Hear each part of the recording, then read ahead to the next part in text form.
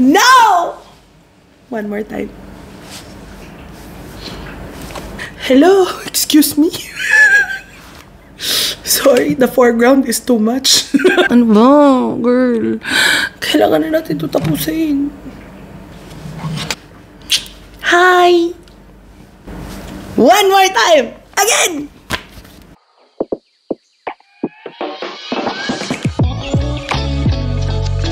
Hi everyone, welcome back to Danabelle Reads Poetry, the show where I read you poetry. On this episode, we are going to be reading from The Women Widowed to Themselves by Lora Mathis. I went through a phase like 10 years ago, like nearly 10 years, like eight, seven years, um, where I was addicted to Tumblr, like just scrolling, scrolling. Now it's like, now I'm addicted to TikTok, but but like then it was like Tumblr. Tumblr was everything. So at that time, I got into Tumblr poets and um, small presses like Words Dance and Where Are You Press, and I was just like, it was my jam. This book was published by Where Are You Press, which was Clementine Von Radics um, press at the time, I believe. Um, I don't know if she's still doing that. Is she still doing that? Also, are like people still on Tumblr? I haven't been on Tumblr. Have we all migrated to Twitter and Instagram and TikTok? Like, let me know. Like, cause if you're if y'all are still hanging out in Tumblr, like I am I still welcome? Can I can I hang out there again? Cause like I miss it. anyway. We're going to be reading two poems from this book.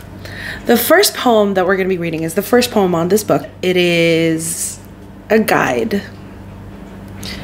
How I want you to read this book as a prayer, as a wish, as a secret, as a nibbling on the ear, as a note passing between sweaty sixth grade hands, as a fogging window, as thunderclap, as comfort, as communion, as command, as you want to, as you need to.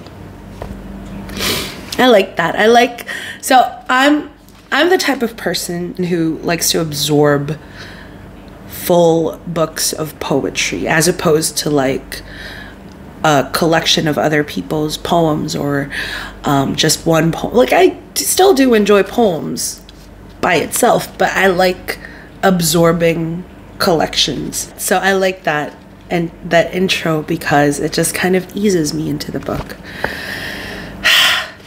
Too much explanation. Let's read the second poem. This next poem that we'll be reading is called I Sing the Song of Myself. Bleeding poetry and thinking, nothing of the consequences. I let want speak to me in a steady breath and listen to it openly. I am with Whitman, singing the song of myself until the notes are memorized. I group whatever pieces of themselves others give me into something I call me. Every day I am relearning the tune of myself. Memory says, You have done this dance so many times before, and I respond.